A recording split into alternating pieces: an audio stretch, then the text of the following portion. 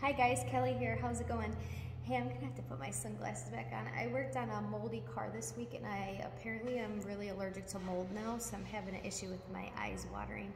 But anyways, um, I wanted to get on and make a video real quick because I've been getting a lot of the same questions the last few days in regards to this class that I've designed. I was gonna wait and teach it when my training center got completed, but I feel like there's a need for it now, especially with so many people leaving their industry and wanting to start their own businesses, not really knowing how to go about starting their own business and things that you need to know even if you're already in business, refresher type things or things that maybe you just didn't know about. So a lot of this stems from, you know, my years in business school. I have multiple business degrees and also from the 12 years that I was a lender. So when I did lending, I specialized in all different types of loans and also credit counseling. So I worked with a lot of people on building their credit, repairing their credit, and helping them understand their credit in general.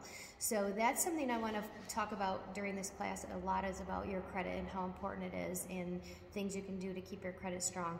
I want to talk about budgets. I think that's something that's really important that gets overlooked and I want to focus a lot on income and expenses and profit and loss statements.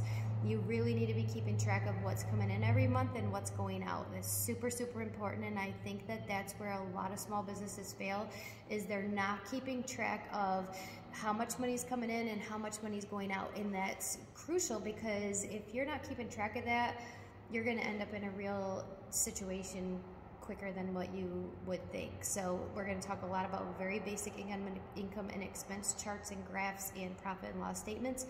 I'm also going to talk about gotta grab my notes here. Um, I'm going to talk a lot about a business plan, setting goals, assessing your finances, talking about determining the right legal structure for your business. I think that's something that's important, whether you're going to set your business up as an LLC, sole proprietor, partnership, uh, or go into a corporation.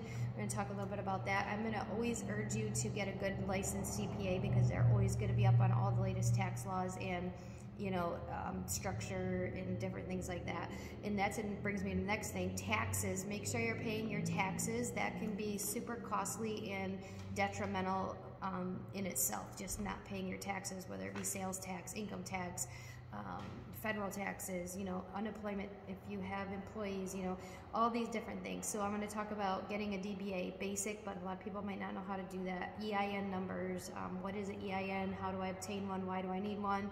I'm going to talk a lot about insurance, super important. Find the right insurance agent, make sure your business is fully covered. It absolutely blows my mind how many business owners, small business owners, do not have insurance or don't have the right types of insurance. Super important to keep up on that and talk about getting certifications regardless of you know what type of business you have or what industry you're in i think that continuing your education is always really really important. Stay ahead of the learning curve and expand your knowledge and you know grow yourself and build yourself. I think it's really really important. So that's just a, the few of the things that we're going to touch base on. If you think of anything else that you'd really like to know about message me. I'd be happy to include it.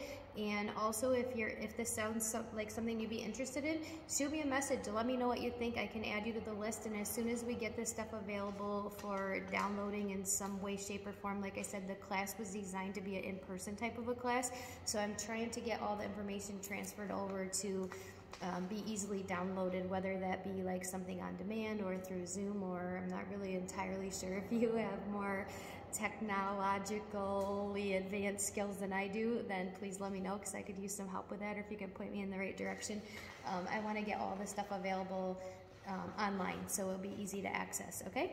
So thank you so much. I appreciate all the input that I've gotten so far and all the interest in this and I hope that I can help somebody. That's all I want to do is I want you to be successful. And if some of the knowledge that I've acquired over the 12 years of myself being in business or my business degrees or the past knowledge that I have in finance and, and lending and credit counseling and credit repair, I would love to share that with you. So message me. Let me know what you what you think and if you're interested in it i'll add you to the list so as soon as i have the information available for you to download you'll have access to that okay? All right thanks a lot guys. Have a great day